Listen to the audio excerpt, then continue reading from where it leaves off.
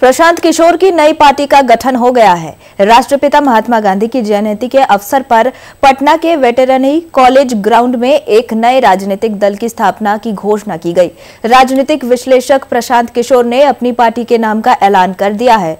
उनके दल का नाम जन स्वराज पार्टी होगा। इस बात की घोषणा खुद प्रशांत किशोर ने पटना के वेटरनरी ग्राउंड में आयोजित एक सभा के दौरान किया है। प्रशांत किशोर ने कहा कि अगर हमारी सरकार बनती है तो हम बच्चों को क्वालिटी एजुकेशन पर ज़ोर देंगे। युवाओं के लिए रोज़गार की व्यवस्था की जाएगी। बुज़ुर्गों को हर महीने दो हज़ार रुपए पेंशन मिलेगा।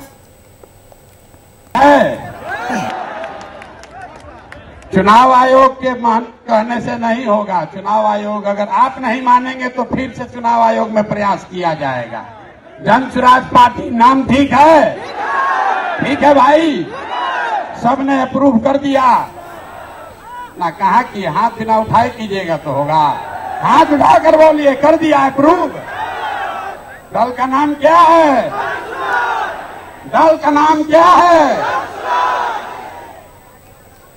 अब आपका परिचय भी कराना है।